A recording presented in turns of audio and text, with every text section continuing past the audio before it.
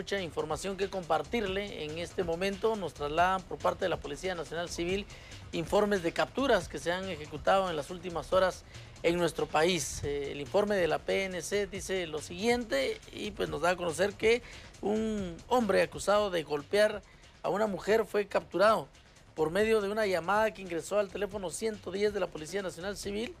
Se denuncia que escuchan gritos de auxilio en un domicilio en el barrio Chipilapa, en La Gomera, en el departamento de Escuintla. Inmediatamente agentes de la Policía Nacional Civil fueron a verificar lo que estaba ocurriendo en ese sector antes mencionado y resulta que encontraron a este hombre que, usted está viendo en estos momentos en su pantalla y porque le estaba golpeando a una mujer. Auxiliaron a una mujer de 22 años de edad que era golpeada y capturaron a Juan Chávez de 41 años a quien le incautaron un bate de béisbol. Aparentemente con este bate era como que estaba golpeando.